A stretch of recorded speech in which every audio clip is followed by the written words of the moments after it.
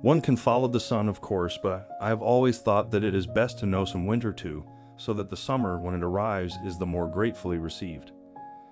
I do an awful lot of thinking and dreaming about things in the past and the future, the timelessness of the rocks and the hills, all the people who have existed there. I prefer winter and fall when you feel the bone structure of the landscape, the loneliness of it, the dead feeling of winter. Something waits beneath it, the whole story doesn't show.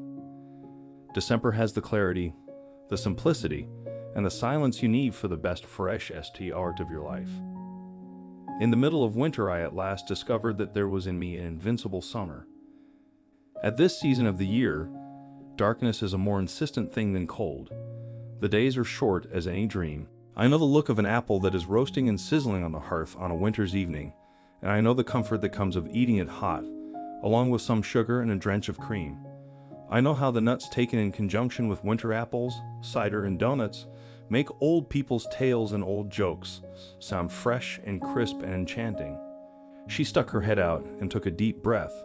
If she could eat the cold air, she would. It reminded me of what Dad said after every snail's crawl home from Albany when snow hit. It's New York, people. It's winter.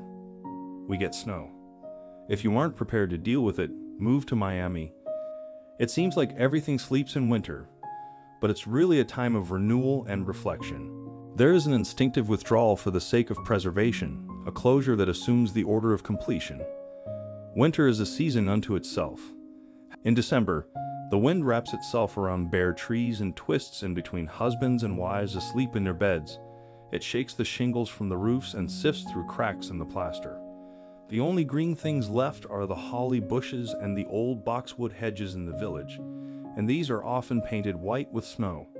Chipmunks and weasels come to nest in basements and barns. Owls find their way into attics.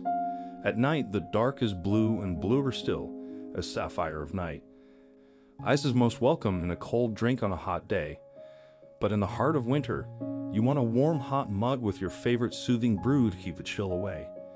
When you don't have anything warm at hand, even a memory can be a small substitute. How many lessons of faith and beauty we should lose if there were no winter in our year. Laughter is the sun that drives winter from the human face. No animal, according to the rules of animal etiquette, is ever expected to do anything strenuous or heroic, or even moderately active during the off season of winter. What good is the warmth of summer without the cold of winter to give it sweetness. Snowing is an attempt of God to make the dirty world look clean.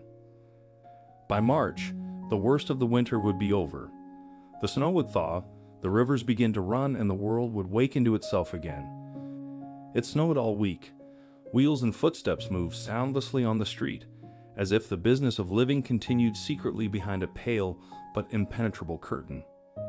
In the falling quiet, there was no sky or earth, only snow lifting in the wind, frosting the window glass, chilling the rooms, deadening and hushing the city. We feel cold, but we don't mind it because we will not come to harm. And if we wrapped up against the cold, we wouldn't feel other things, like the bright tingle of the stars, or the music of the aurora, or best of all, the silky feeling of moonlight on our skin. It's worth being cold for that.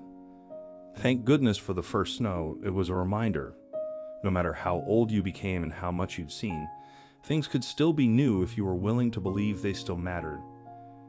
When old winter puts his blank face to the glass, I shall close all my shutters, pull the curtains tight, and build me stately palaces by candlelight. Winter is the time for comfort, for good food and warmth, for the touch of a friendly hand, and for a talk beside the fire. It is the time for home.